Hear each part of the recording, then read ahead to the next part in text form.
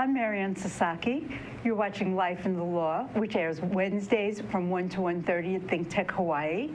Uh, we, today's a very exciting day in the law because our president uh, nominated his Supreme Court candidate, and we are very, very lucky indeed to have Michael Kozak, eminent legal scholar, eminent Honolulu legal scholar with us to discuss uh, the ramifications of this uh, appointment and how do you think it's going to go?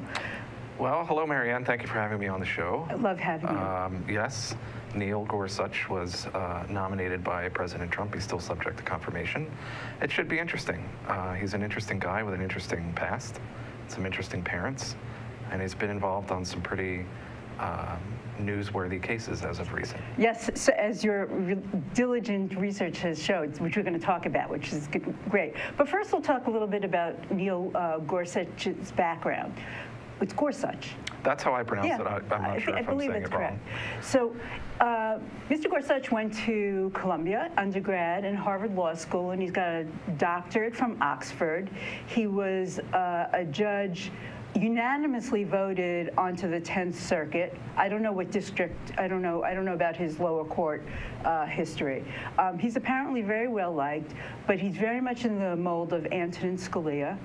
And um, you know, it's my opinion that, you know, the entire ju- judicial appointment process has been tortured by the fact that the Senate would not entertain Merrick Garland when it was President Obama's rightful pick. So it, there's a, I say there's a hint of illegitimacy with respect to this appointment, but we'll see how the Senate's going to deal with it.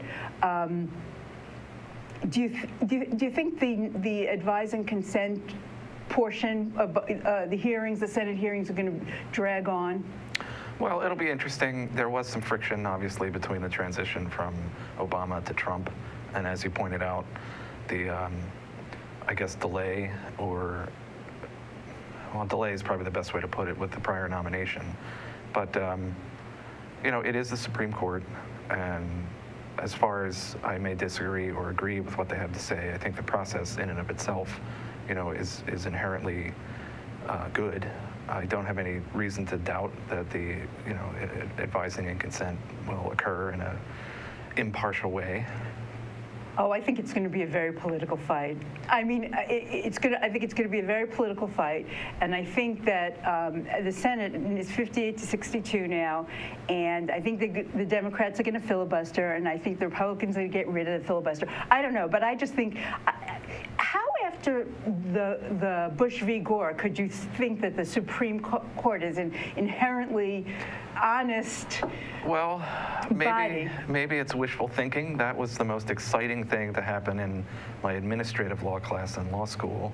It I was exciting. It was fascinating. Yeah. Otherwise, uh, I have to admit, administrative law when I went through Pepperdine was not the most exciting class. But you I- had Bush v. Gore, which made it real. It brought it all to life. It's, you know, you're very smart to have studied administrative law because the, we're going to see the wholesale dismantling of all the executive agencies by Bush's cabinet. And you'll be able to bear witness that there actually used to be an EPA and other executive agencies. And, and not, not merely an executive. so, um, what does what does Neil? You know, I fear what Neil Gorsuch means for the future of the uh, of, the the uh, precedents set by by the Supreme Court, particularly Roe v. Wade. Um, I was really hoping to have Citizens United overturned. Um, I think this is like probably one of the most impactful things that I hate that word impactful. Let me take that back. One of the most important things that Donald Trump will do during his presidency. The guy's only 49. He's got he could have 50 years on the court. He could shape law for the future 50 years. So. Um, I, I'm a little, you know, dis- disappointed in his nomination. I mean, politically, are you more aligned with his, his, are you more on the conservative side? Well, I was, I was raised Catholic, you know, church every Sunday, but I still take the position now, especially with things like contraceptive rights or abortion. Um, it, it really is something I think you should leave up to an individual instead of mandating whether or not you can or cannot you know, obtain contraceptive or Right, right, I agree. procure I an agree. abortion. It's There's part of your a- right to privacy. Yeah, there's been a variety of laws that I didn't particularly care for that limit that. Um, there was one I remember where you had to have anesthesia if you were undergoing an abortion, and it just seemed to be like you're imposing political views and religious views into what really is essentially um, A personal choice. yeah, and it's also a, like a medical procedure. Right. So I, you know, I, I don't think it's something that sh- you should abuse it or use that. No, no, not at all, course but it's, But having a government step in, and say you can't, cannot. it seems to be a little bit much. You know, I, it's, I'll tell you, you know what this guy, um, this guy, the, the Supreme Court nominee, has written extensively about um, uh, the right to death, and and he's vehemently um, opposed to people the right for people to choose to die, which leads me to think, just from a logically consistent point, he's going to be opposed opposed to abortion too, because if if if you value life in such a way, and he's kind of a religious guy, so if if you value life in such a way, I, I just don't see how um, he can vote with with you know he, can, he cannot vote with cutting further into Roe v. Wade. I, I, I they say that the, the court Roe v. Wade is safe right now, but if um, one of the others. Um, one of the other uh, liberal Supreme Court justice goes, like um, like Justice Ginsburg, who is I think 84 years old, then that's like pretty much curtains for for uh, legalized abortion in the country. So it's it's it's really I think we're really at the precipice of something. Uh, something monumentally big here. Uh, You, the, the, the, the whole tenor of the court could change. Yeah. Well, I would agree. It seems like his background um, is more pro-life, regardless of the circumstance. Um, I know he authored um, some type of publication about being a opponent of assisted suicide Right, and exactly. euthanasia. Um, it, something like that to me seems to be, as, as attorneys, we always get, this is a case-by-case analysis. This is, you know, not a bright line rule. We have to do these determinations, and um, part of my practice is employment law, and that has that's filled with case by case. Right, it's totally fact Yeah. specific.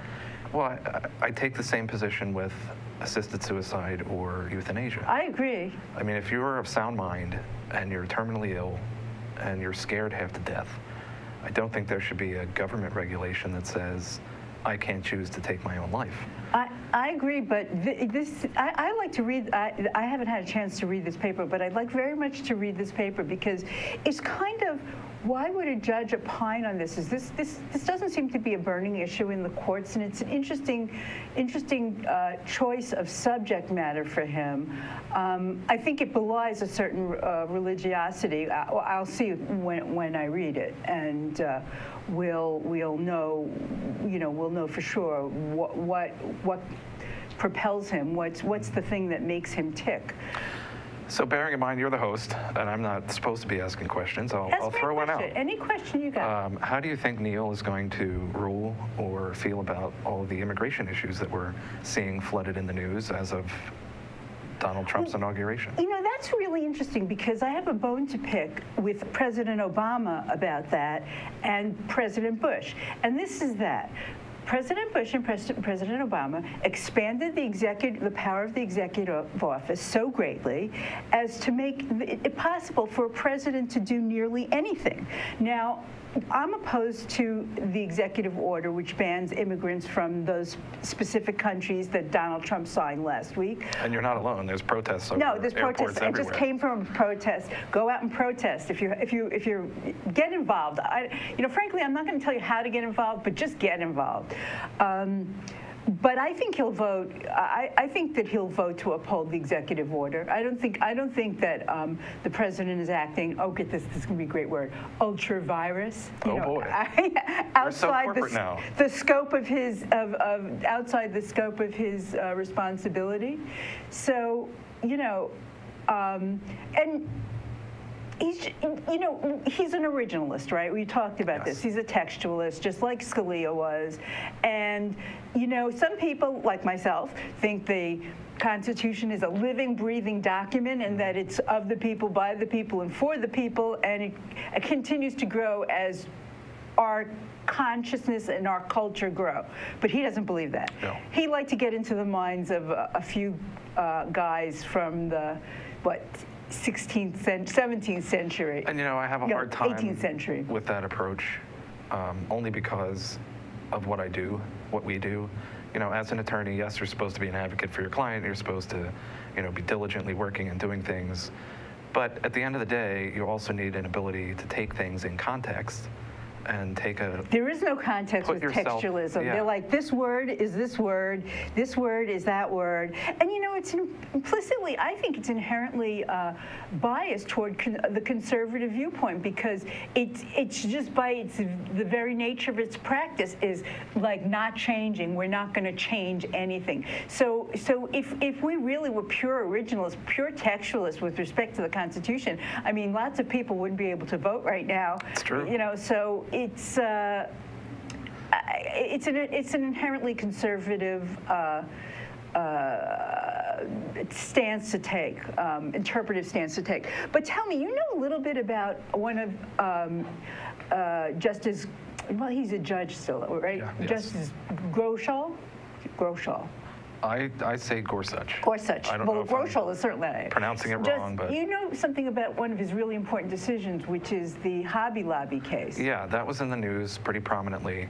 And the whole thrust of the case was um, it was 10th Circuit, and Neil Gorsuch upheld an employer's religious beliefs for closely held corporations and disagreed with the mandate in Obamacare where employers had to cover contraceptives. In particular, for Hobby Lobby, this was um, like the morning after Plan B type Right. pill because Right. the employer had a religious background, was opposed to abortion, and under Obamacare or the Affordable Care Act, was being mandated to provide health coverage for a religious, um, well, what he viewed as a religious act that he was opposed to. So he came out, stood against it. The case only applies to closely held corporations. So you're publicly traded and all the So all the bigger very, ones. yeah, It is pretty narrow, but the significance of it is recognizing an employer's religious right to refuse certain contraceptive coverage for a viewpoint they disagree with. Uh, another case that Wait, well, let me take a quick break and we'll, we'll go on to talk about some of his other cases, which I find fascinating. Um, I'm Maryann Sasaki. We'll, you're watching Life in the Law. We'll be back in one minute. Hey, has your signal just been taken over or am I supposed to be here? This is Andrew, the security guy, your co-host on Hibachi Talk. Please join us every Friday on ThinkTech Hawaii. Aloha Kakou. I'm Marcia Joyner, and I'm inviting you to navigate the journey. We are discussing the end of life options, and we would really love to have you every Wednesday morning at 11 a.m. right here. My name is Mark Shklov, and I'm the host of Law Across the Sea. And Law Across the Sea is a program that brings attorneys who have traveled across the sea and live in Hawaii or are staying in Hawaii for a time to talk about their travels, where they're from, where they're going, and bring it all together because really we're all connected some way, although we travel across the sea. So I hope that you'll tune in and watch our program. Thank you very much.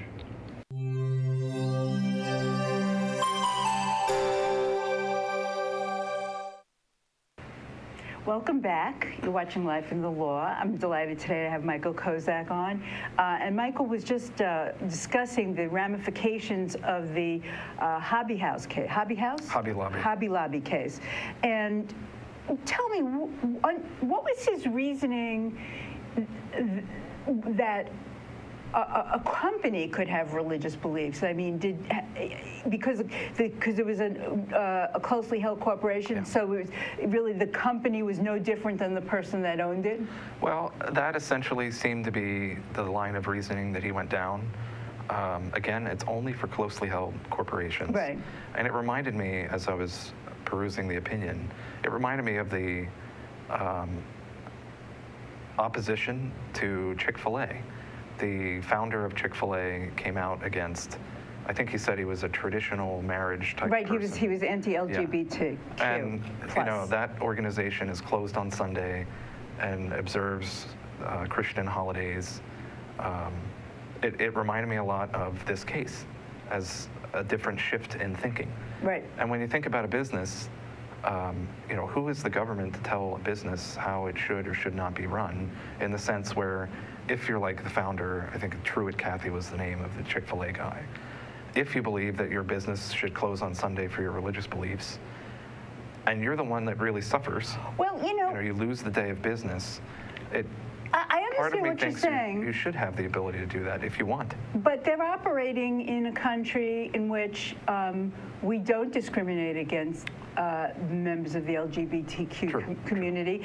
And Hobby Lobby is operating in, in a country and taking subsidies, I'm certain, from a government who provides that it's a fundamental right of a woman to have an abortion. So, I mean, I, yes, I understand what you're saying, and I understand what uh, Grossetch is saying, but I I just don't agree. I just don't agree.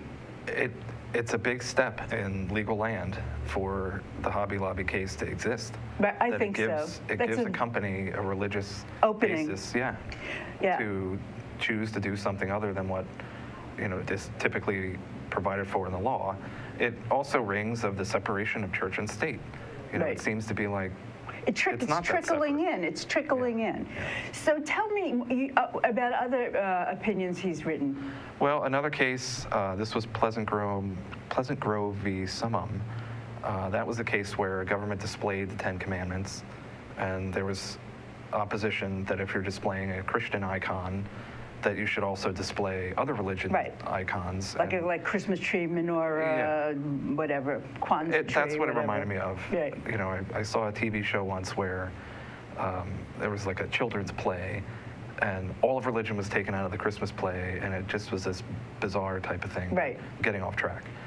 He had ruled that by displaying the Ten Commandments, the government's not required to also display other religious monuments, which again, you know, that seems That's be. interesting. I wonder, I wonder what his reasoning was. Do you think his reasoning was that the Ten Commandments are so universal, they, they, they're like supersede rel- religion? They're actually not even a, a religious, they're not even religious iconography because that's how, how uh, important and, and, and relevant they are for the law and how, I mean, I imagine that's what, what he. Primarily, yeah. yes. It was almost like it's it's It's not even a religious. It's not Yeah. like a Christmas tree or menorah. It's not. It's not rooted in any single religion. It reminded me of copyright law when you'd see something in the public domain, meaning you can use whatever portion of it that you want without having to pay any sort of royalty or fee. It's it right- seemed to it- me, when I was reading it, it reminded me of that. Yes, it's a happy birthday Yeah. of, of uh, religious icons. Pretty much. It's pervasive. It's all pervasive, and it's and it's lost its impact as um, an overtly religious icon. But okay, now, you know, I know I've been pointing, uh, I've been uh, positing uh, this uh, poor poor judge who's going to be the next Supreme Court justice, um, uh, you know, as anti all this material and very conservative and.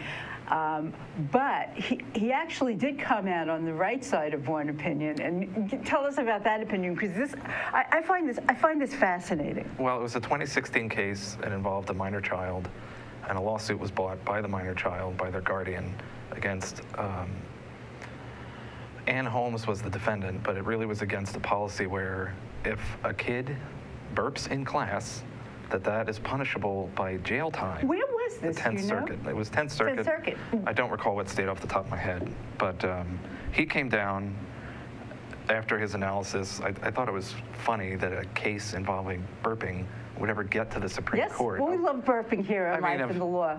We, we, we, we love burp law, you know. Uh, Burp with impunity. So I just wondered of all the dissented problems. uh, He was the dissent in that. Yes, and he, he dissented by basically saying something that's ordinarily a disruption and not a threat to safety or health, but a disruption in the classroom cannot be criminalized. But the majority ruled that burping could be criminalized? Under the statutory scheme, yes. Wow. I guess could- uh, disruptive. Well, I mean, schools anymore, you know, when you and I went to school, Um, there were no metal detectors. There were no guns. I didn't know Right. any kids that brought guns to school. Um, you know, I did go to a private grade school, but I was friends with all the kids in the neighborhood who went to the public school, and they didn't have any friends bringing guns or knives or. You didn't have police officers in school. You didn't go through like searching in some things. So times certainly have changed since I was a kid, and it seems as though schools are now a zone where there's a lot less control over what happens. Um, to the point where you have police involved in day-to-day activities. You know, kids have no civil rights. I always, I, this, I, I, I discuss this constantly with people. Children have virtually no civil rights in our country. I mean, and they should. They should have civil rights. You know, um, it, it's. I, you know, I, I'd say the state should beware because, you know, the, the things that happen to the least among us, like children, it always sort of goes up a notch. There's more control. And we've seen it over the past 30 years, an increasing amount of government control over areas that we, like whether personal decisions about abortion or um, uh, Citizens United allowing, you know, large PAC money to flow into presidential candidates. So, you know, it's, you know, we, we've seen, we've seen the, uh, the encroachment of, of religion. And I, I'm afraid, I don't know, I could be wrong, but I'm afraid Donald Trump is going to be the real embodiment of that kind of uh, unilateral, singular, dictatorial um, encroachment on people's rights. So I don't. Well, I'm curious to see what happens with states like California or states that have these sanctuary cities with immigration that you've seen in the news. I'd be curious to see how the judicial nominee would opine and rule, but more the reasoning than the ruling. Um, but I'll also be curious to see what happens to, like California, immigrants have a wide variety of rights, including, you know, attending public school and a, a, a wide variety of states' rights. Uh, I'll be curious to see what happens with that. And if this justice gets an opinion, sooner or later, I have to think one of these sanctuary cities, in light of the immigration executive order, is going to file some kind of claim or lawsuit to invalidate it or just break it. Right. You know, we have the guy on, I think it was in Florida, the mayor or governor had said, yes, we're going to enforce this, even though I disagree with it. Right. And then you have places like San Francisco where they're just openly disobeying. Right. You know, if that really is enforced, you know, it is an executive order, it's now law. Um, you're breaking the law, San Francisco, what are we going to do about it? Right. So I'd be curious to see what um, Neil Gorsuch would do with a case like that. I, I think Donald Trump is, I, I don't even think that he's going to wait, wait for uh, a case to come up um, uh, vis-a-vis the executive immigration executive order. I think he's going to sign a whole new executive order tr- uh, banning sanctuary cities. I, I, I think he's going to, you know, address that head on. And if that happens, that's just an explosive. It is, and it begs the question, how would enforcement be accomplished?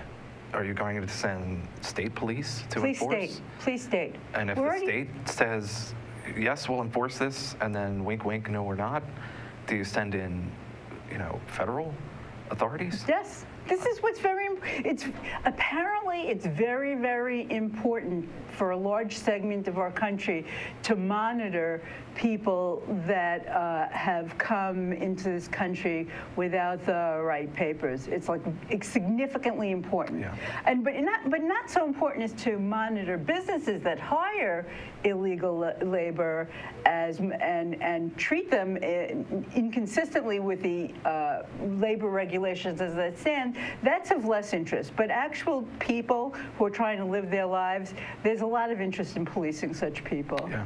And you know, I, I say, you know, you're younger than I am, but I remember before 9 11, and I- I'll tell you, since 9 11, police power, whether it's the state police or local police, or it has has just grown. I Oh, mean, tremendously. it's it's it's it's, it's it, it, the the the. Uh, Local police, police forces are militarized, and they have like they can unilaterally do really mu- pretty much what they want. So that's what I'm imagining. They'll have rounding up of people. That's I- what, I hope that's not, what Hitler did. but- well, Hi- Hitler managed it very nicely. Uh, hopefully that doesn't happen, but it'll be interesting to see when a case comes up, how this particular uh, nominee, assuming he gets confirmed, rules. The other item that has been in the news, uh, another subject of an executive order, was the Dakota pipeline. Right. So that has been a pretty hot button issue, whether or not you're going to complete that thing, Right. have have it transfer all the oil and with all the risk of leaks and all the leaks that have occurred already. It'll be interesting to see how this particular justice views that. Right. I, I, I, I have to tell you that I, while he may be only, he, he, he is a milder, he may be a milder version of, of Justice Alito or Justice Roberts. He's, I, I think, I think I know how he would, how he would rule in the, these instances. I think, I think he's going to go, you know, completely with the conservative um, party line because it seems that the Supreme Court is, polit, is, is no longer above the law, above, I mean, above politics. Yeah. It's part of politics. Well, and that was the criticism recently um, that politics is influencing and, and taking over a portion of the judiciary. Isn't That- doesn't that break your heart? Because, you know, you learn in law school that the, the judiciary is above, i i it's such mundane, uh, you know, uh, matters that they're, they're really uh, concerned with great, great, great, great ideas, great matters of great import for the co- country, not who will be in office or who won't be in office or what, what party and another party. Their, their, their great projects are uh, desegregating schools and stuff like that. And now, Well, law school, as I reflect on it, seemed to put things very black and white. Um, it seemed like there was a, a particular answer or a right answer the teacher may have been looking for. But when you get into practice, and I'm now 12 years in, uh, you start to see very little is black and white, uh, if any. You know, you have a particular position, someone else takes an opposite position. Um, you know, we've seen it as recently as the inauguration, where you know Trump is disputing the number of people that attended, and you look at the Obama picture and the Trump picture, and one, unless I'm crazy, clearly has less. It, why are we disputing that? It, Well, you know, you, you're a litigator. You should know why we're disputing that because we, we as lawyers can take any side Yeah. and make an argument for oh, any side. I've seen that. Michael is a great litigator. You should look up some of his work. You have some, um, I know you, you've given some seminars and so on. And what's the name of your firm? Porter, McGuire, Kiakona, and Chow. Well, thank you, Michael Kozak of Porter McGuire. I'm going to stop it there because I'll mangle the rest. And I appreciate your coming today to talk about uh, this uh, very important day in history, frankly. Pleasure to be here, and thanks for the invite. That's great.